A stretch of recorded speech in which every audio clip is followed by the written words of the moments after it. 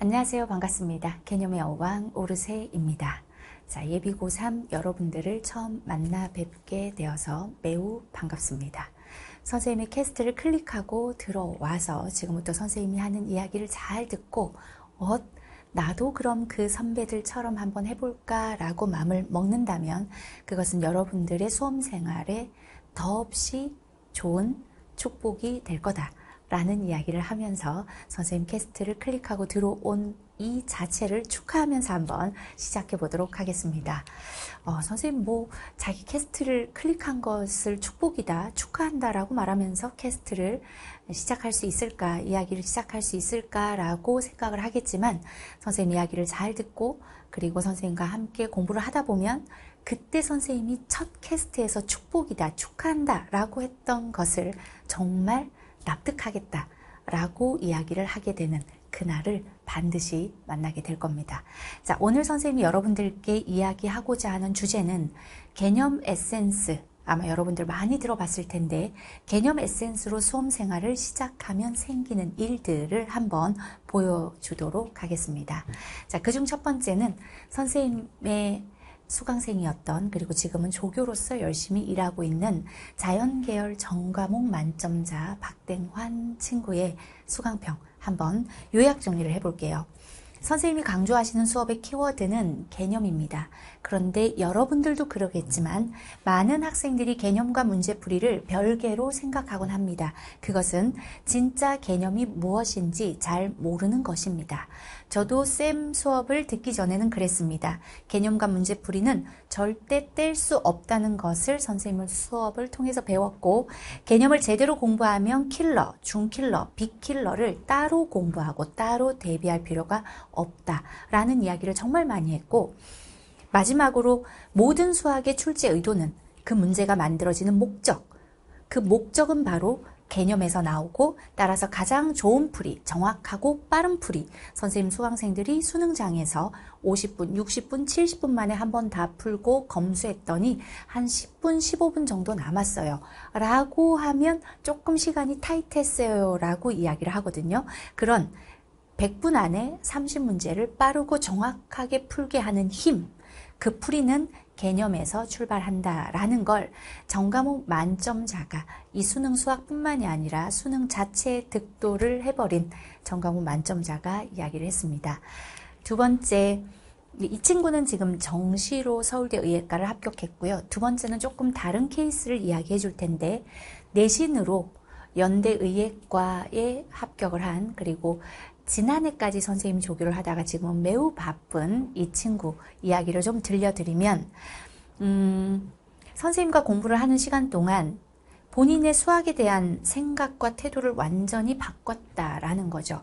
내신을 고1 때부터 사실 초등학교 때부터 늘 최선을 다해 열심히 살았던 친구라 이 친구는 대학 들어가고 컨텐츠 팀에서 선생님 조교를 하면서도 학점을 만점을 받았어요. 연대 학점이 4.3 만점인데 선생님 저 어느 학기에 선생님 저 아, 이번에는 별로 성적을 못 받았어요 했을 때가 4.2였나 그랬고요. 그 다음 학기에는 이번엔 좀 잘했어요 라고 했을 때가 4.3이었어요.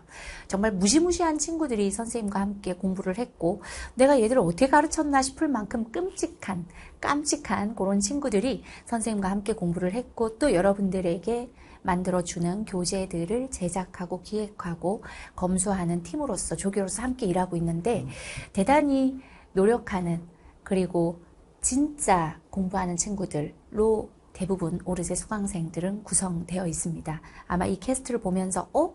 나도 이렇게 공부해볼까? 라는 생각이 든다면 여러분들도 이 선배들처럼 될 자격이 충분한 그런 기질을 갖추고 있는 사람이다 라고 생각하면 될 것 같아요.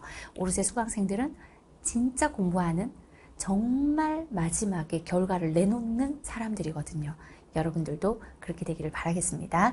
자, 그래서 이 친구는 내신을 관리했기 때문에 정말 많은 문제를 풀었고, 내신 문제는 주어진 시간 안에 즉각 반영해서 바로바로 바로 풀어야지만 100점을 받을 수 있는 수능과는 또 결이 좀 다르잖아. 그 내신마저도 가장 정확하고 빠른 풀이, 오로지 개념만으로 그 어떤 어려운 문제도 풀어내게 했기 때문에 내신마저도 시간이 남게 되더라 라고 이야기를 했어요. 내신에도 수학의 본질은 하나다. 라는 걸 보여준 케이스이고 그리고 이 친구는 상산고를 졸업한 친구고 재수를 하면서 선생님을 만났어요. 방금 보여준 친구는 고3. 그리고 그 앞에 보여준 선생님 수강생은 예비 고1부터 개념 에센스를 반복적으로 공부했던 수학이라고는 오로지 선생님한테서만 배웠어요 라고 이야기를 했던 전과목 만점자거든요. 이 친구는 고3 때 만나서 바로 연대의대를 갔고 지금 이 친구는 상, 상산고를 졸업한 상태에서 재수를 하면서 선생님을 만났어요. 그런데 현역 때는 개념은 초반에만 익히고 단순히 문제만 많이 풀고 치우는 방식의 공부를 하였습니다. 하지만 재수 때 선생님의 수업을 듣고 개념이 어떻게 조직되고 구성되는지 그리고 개념이 문제에 어떻게 드러나는지를 배움으로써 문제를 읽고 거기에 어떤 개념을 적용시켜서 문제를 풀어야 하는지 수학적 언어와의 소통을 함으로써 정확하고 빠르게 풀었다는 거죠. 역시 수능에서 100점을 받았어요. 그리고 서울대 컴공에 간 이땡선 선생님의 현장 수강생이었습니다. 지금까지는 전부 현장 수강생들이에요. 뒤에 온라인 수강생들의 이야기도 나오는데 제목이 뭐였는지 여러분들 잊으면 안 돼. 개념 에센스로 시작하면 생기는 일이야. 개념 에센스로 시작하면 자, 이 친구는 어, 현장 수강생이었고 재수생이었어요. 그리고 선생님의 새 소식 공지사항에 본인이 수험생활 동안 느꼈던 것들 공부법을 자세히 적어줬던 작년에 적어줬던 친구인데 수능장에서 원하는 나의 모습을 매일 실천해야 돼. 그래야 그 모습 그대로가 수능장에서 나와. 라고 여러분들께 이야기를 해줬었고, 그리고 내 스스로가 아직 개념이 부족하구나 라는 걸 인정하는 용기가 필요하다. 보통 여러분들도 이제 고3이 되면 문제가 막 풀고 싶거든요. 막 멋있는 문제집에 문제가 막 풀고 싶어. N수생은, 재수생은 오죽하겠어요? 정말 멋있는 문제집을 풀고 싶거든. 막 엔젤을 풀고 실무를 풀고 싶어. 그런 욕구가 겨울 시즌 시작부터 그러니까 12월 말 1월 수험생활 시작부터 음, 난 좀 해. 스카에서 공부하거나 또는 바자관 같은 데서 공부를 할 때 누가 뭘 공부하나 라는 걸 자꾸 보게 되고 내가 내 공부를 하는 게 아니라 저 친구 공부를 하는 경우가 많아. 아, 저런 문제 지금 나도 풀어볼까? 아, 나도 저런 거 풀면서 멋있게 넘기면서 공부하고 싶어. 라는 욕구가 막 생겨요. 그런데 그게 그렇게 수험 생활을 시작하는 게 6편 끝나고 9편 끝나고 그제서야 쌤 제가 어딘가 허점이 있는데 그게 어딘지 모르겠어요. 설마 개념일까요? 설마 기출의 분석을 정확도 있게 일관된 방법으로 하지 않은 걸까요? 라는 걸 그제서야 얘기하면서 마지막에 거꾸로 개념을 하는 경우가 너무 많아.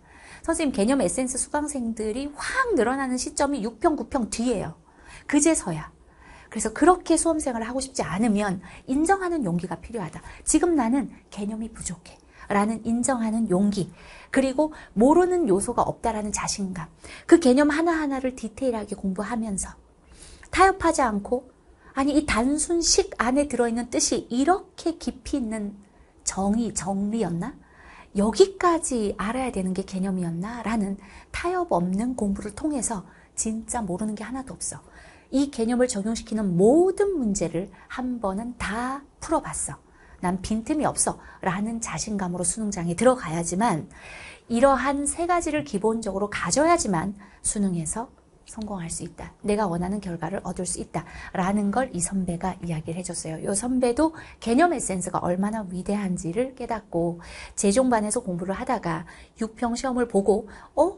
6평 시험을 보는 순간순간 내가 사용한 내가 공부했던 요소들 대부분은 개념 에센스에서 배운 것들이야. 그러니까 그냥 선생님한테 가야겠다 하고 다 때려치고 선생님 학원 앞에 방을 잡아놓고 남은 수험 생활을 함께 했던 친구거든요.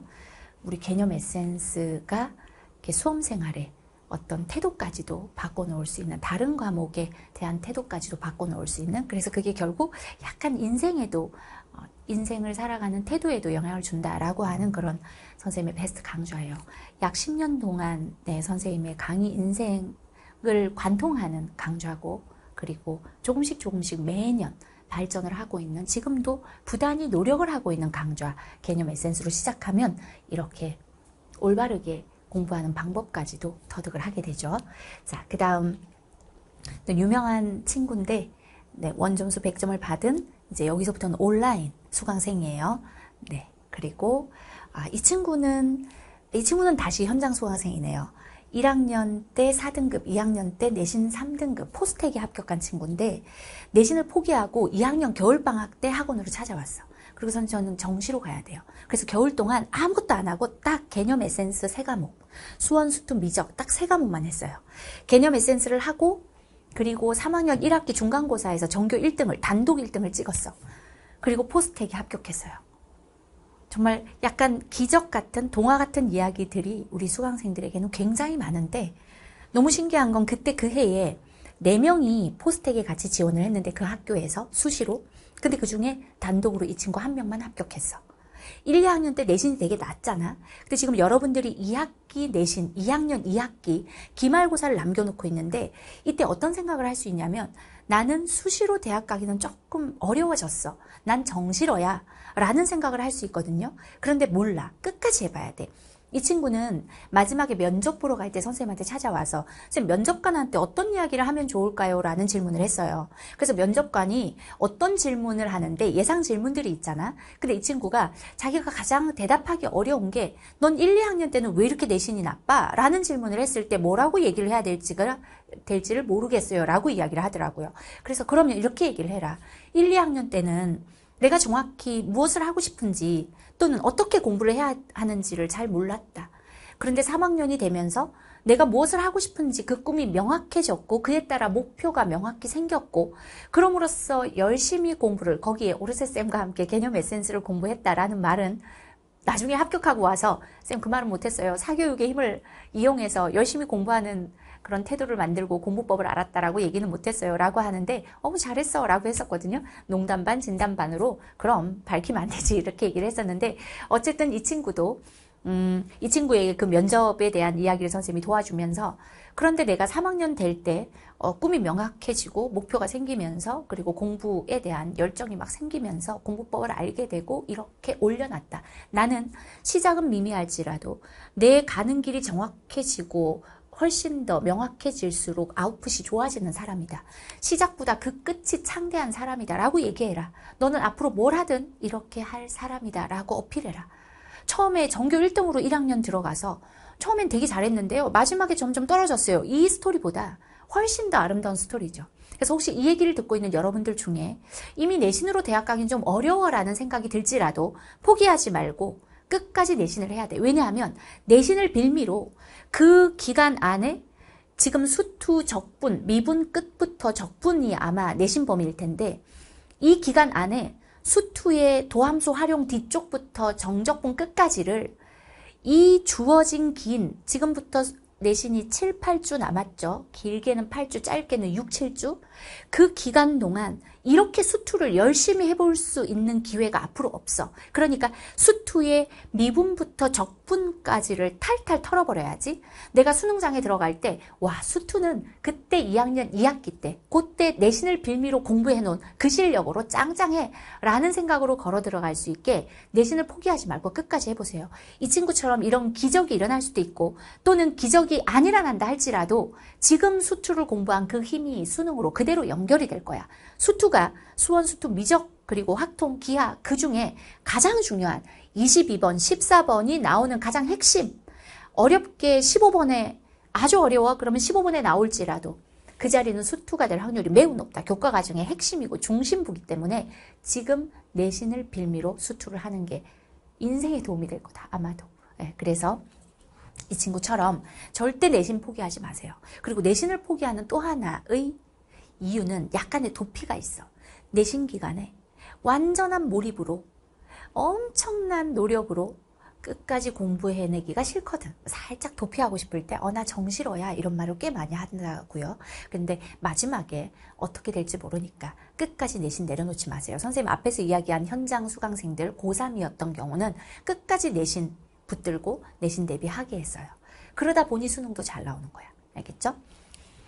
음, 그리고 이 친구도요, 이 문과생이었어요. 당시. 내신이 형편없었어. 그리고 마찬가지 앞에 두 케이스가 지금 공통점이 있는데 자연계열 친구였고 여기가 문과였는데 둘 다 내신이 엉망이었어. 이 친구도 음, 정시로 가야죠 하고 겨울방학 때 왔거든요.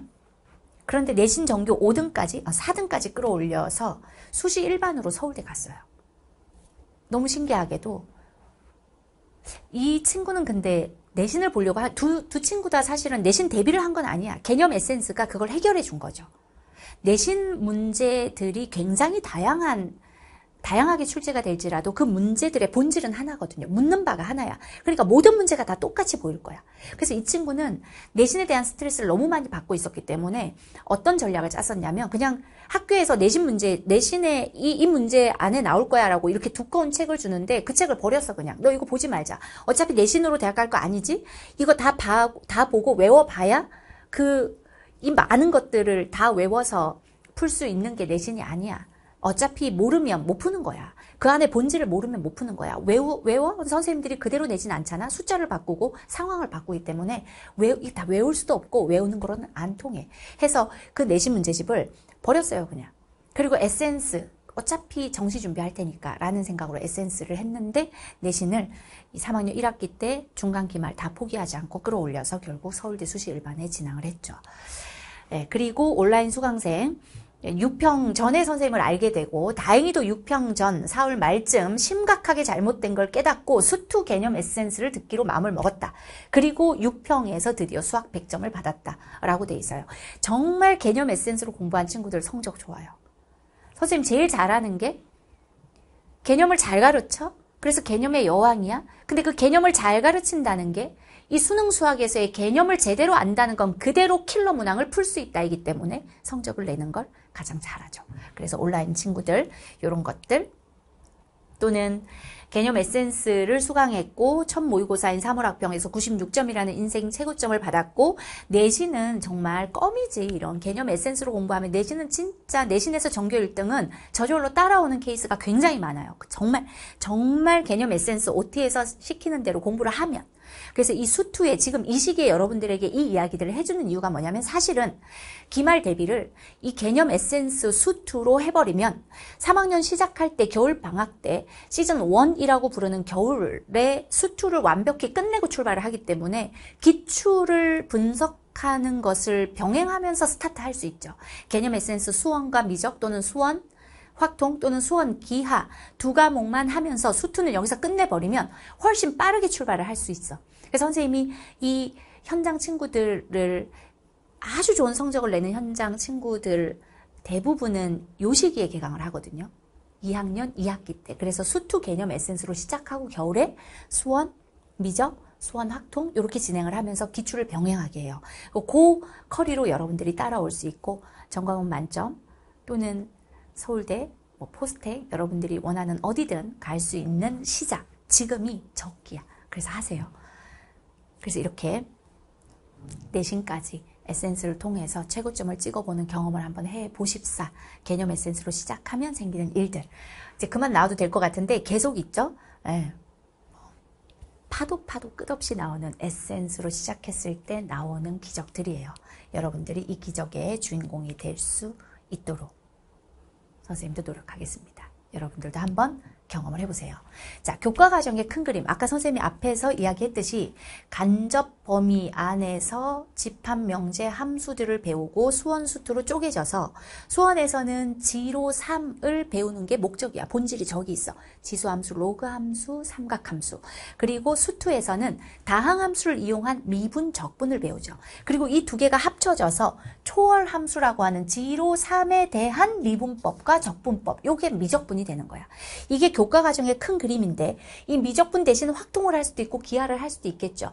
그런데 수원 수투의 간접부터 시작해서 연관 단어는 당연히 미적분이야. 그래서 미적분을 공부하다 보면 거꾸로 수원수투가 매우 쉬워지는 것도 사실이야.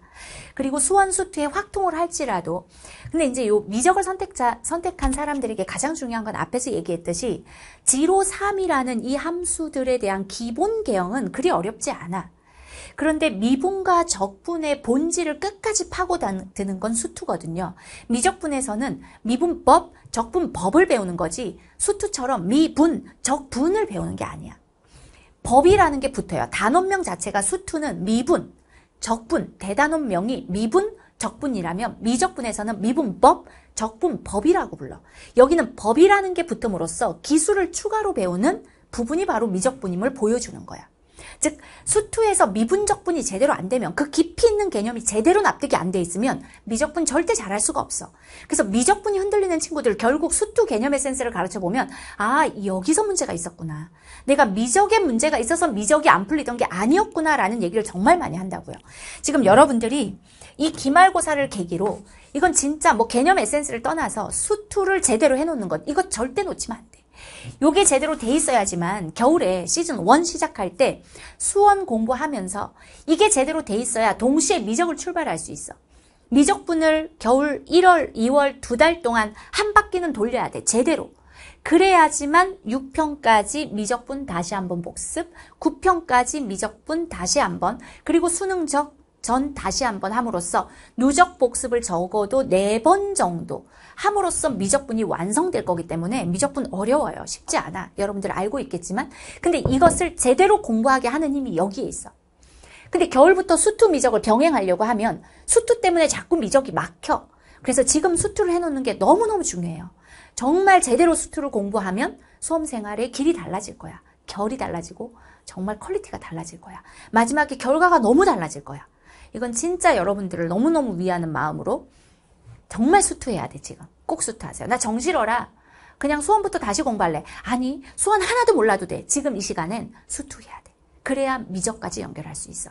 지금 이 시간에 수투해야 수투의 고난도 문항을 확동이나 기하 선택자들은 수투를 더 깊이 있게 쪼개볼 수 있는 미적을 안 하기 때문에 수투 안에서 끝장을 내야 되잖아. 수투 진짜 열심히 해놔야 돼요. 수투 때문에 힘들어지는 일이 없으려면 아, 지금 22번 하나는 못 풀겠어요. 15번 하나는 못 풀겠어요. 저는 왜 100점이 안 나올까요? 저는 왜 1등급을 목표로 했는데 2, 3만 자꾸 나올까요? 이 모든 중심에 수투가 있어요. 이 말 믿고 수투를 제대로 공부해야 된다. 알겠죠? 자, 그래서 수투를 개념 에센스 수투의 OT를 한번 들어보시면 아, 이렇게 공부해야 되는구나 라는 걸 알게 될 거야. 그 선생님이 5주차로 계획을 한번 짜봤어요. 지금부터 여러분들의 기말까지를 7주 혹은 8주라고 했을 때 5주까지 수투를 한번 쫙 끝내고 그리고 남은 2주 동안 다시 한번 누적을 하면서 학교에서 준 교과서 프린트 문제집, 보충 문제집들을 풀면서 내신 대비를 하면 돼. 근데 5주 수강법의 선생님이 이번 기말이 대부분 적분이고 미분 끝에 3, 4차 그래프 도함수 활용이 들어가는데도 그냥 수투를 통으로 5주 수강법으로 잡은 이유가 뭐냐면 1단원의 극한부터 아마 이 개념 에센스를 들어보면 놀라게 될 거야.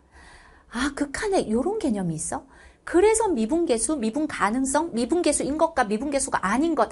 그래서 이렇게 많은 어려운 것들이 있었구나. limit이라는 극한이 제대로 안 돼 있어서 미분계수가 잘 안 됐었구나.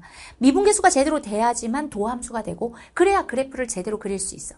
그 그래프가 제대로 만들어져야지만 그 그래프, 그 함수에 대한 적분이 이루어질 수 있어. 수투는 각 단원의 유기적 관계가 매우 세기 때문에 1단원이 안 되면 2단원이, 2단원이 안 되면 3단원이 앞에서 제대로 잡혀있지 않으면 뒤에가 절대 될 수가 없어. 그래서 선생님 저는 미분 앞쪽이 어느 정도 돼 있다라고 생각이 들지라도 아닐 수 있어. 본인이 뭘 모르는지 모를 수 있어요. 왜 이렇게 강력하게 얘기를 하나 조용조용 시작해서 왜 이렇게 세게 이야기를 하나라는 생각이 들 수 있을 거야. 이렇게 선생님이 목소리가 올라가고 액션이 커진다는 건 진짜 중요한 이야기를 하고 있다는 거거든요. 선생님 강의를 들어봐도 아마 느낄 거야. 톤이 올라가고 액션이 커진다. 거기가 출제 포인트 22번 고난도 문항으로 나오는 아주 중요한 개념들이야 라고 이해하면 돼요. 이 개념 에센스 안에는 개념만 있는 게 아니야. OT를 들어보셔야 되겠지만 개념과 이 개념으로 2점, 3점, 4점, 초고난도 문항까지 같은 개념으로 한 방에 뚫린다는 걸 보여주기 때문에 개념이 50%, 문제가 약 50%예요. 그래서 개념 플러스 그 개념을 이용하는 접근을 가르치는 기본 BQ를 첫날 들으시고 OT에 시키는 대로 그리고 그 다음날 개념과 BQ를 재정리해야 돼. 뭔 재정리? 재정리를 하라는 게 어떤 건지 OT를 한번 들어보세요. 그리고 SQ 파이널을 풀어. 그리고 익수기를 풀어. SQ 파이널을 풀어. BQ를 풀어. 저기 BQ가 베이스 캐스천이야. SQ는 그 BQ와 유사한 시밀러 캐스천이에요. 그리고 파이널은 진짜 어려운 문제들까지도 이 하나의 개념으로 풀린다는 걸 보여주기 위해 초고난도 문항까지 다 들어있어. 그렇기 때문에 이 한 권 안에서 내신까지 커버가 되는 거예요. 그래서 개념 BQ, 재정리, SQ final, 익숙이 한번 더 풀 수 있게 익숙이도 교재에 하나로 들어가 있기 때문에 이렇게 완벽하게 한 단원을 4일 동안 공부해 주시면 돼. 한번 해보세요. 개념 BQ부터 단, 단 1분도 skip하면 안 돼. OT에서도 강조하지만 단 1분도 skip하지 말고 이거 나 아는 개념이야 라는 생각으로 넘기면 안 돼. 그 당연한 개념을 설명하는 그 말 그대로를 final의 마지막 초고난도 문항 풀 때 그대로 적용시키니까 개념이나 BQ 2점짜리 풀 때 그걸 skip하면 그 똑같은 얘기로 초고난도 문항 풀 때 그걸 놓쳐버릴 수 있어. 그래서 단 1분도 skip하지 말고 공부하셔야 돼. 그리고 마지막 final에 아무리 어려워도 마지막 한 문제도 빠짐없이 끝까지 공부하셔야 돼. 그래서 선생님이 앞에 수강생들의 태도 중 하나가 A부터 Z까지야. 보통 일반적으로 중상위권 친구들이 가운데 부분을 많이 하거든요. 가장 기본은 아, 난 알아 하고 지나가고 너무 어려우면 여기까지는 안 해도 되겠지 라고 내려놓는 A와 Z를 주로 안 한다라는 게 일반적인 수험생이에요. 그런데 진짜 A부터 겸손하게 마지막 Z까지 버티는 친구들 그런 친구들이 저렇게 기적을 만들어. 우리 에센스는 A부터 Z까지가 들어있으니까 그 모든 걸 단 1분도 skip하지 말고 하나도 빠짐없이 끝까지 공부하세요. 그래서 이렇게 4일 동안 공부를 하고 그리고 전체적으로 누적 복습. 읽으면서 다시 한번 확인하고 거기서 어, 이 개념 뭐였지? 라고 생각이 드는 건 다시 강의로 확인하고 어, 이 문제 어떻게 푸는 거였지? 조금이라도 막히면 다시 풀어보고 다시 강의 듣고 해서 5일에 한 단원을 공부할 수 있게 계획을 짰어요. 마찬가지 쭉 그렇게 공부하면 5주 차에 마지막 7단원 정적분의 활용까지 풀릴 거야. 누적 복습 보시면 처음에는 1단원 누적 복습인데 그 다음엔 1, 2단원, 그 다음에 1, 2, 3단원 계속 쌓아가는 거야. 앞에서 했던 걸 계속 읽으면서 누적 복습하는 거예요. 알겠죠? 오케이. 자, 여기까지 해서 여러분들이 5주를 보낸다면 정말로 여러분들에게 해주고 싶은 이야기는 개념 에센스로 시작하면 생기는 일들을 실제 여러분들의 선배들의 수강평으로 보여줬잖아요. 그리고 개념 에센스로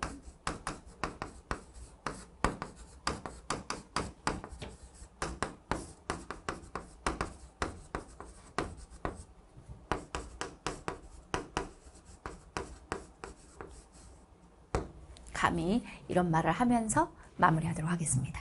개념 에센스로 시작하는 건 축복이다. 이 캐스트를 끝까지 듣고 아까 처음 이야기했듯이 어? 나도 한번 해볼까? 라고 마음을 먹었다면 그렇다면 축하드립니다. 여러분들의 수험생활은 남다를 거야. 여러분들이 원하는 것이 그 무엇이든 반드시 이루게 될 거야. 그만큼 중요한 게 개념 에센스 그 중에서도 수투예요. 자, 그럼 선생님은 여러분들과의 첫 만남을 이렇게 마무리하도록 하겠습니다. 고생하셨습니다.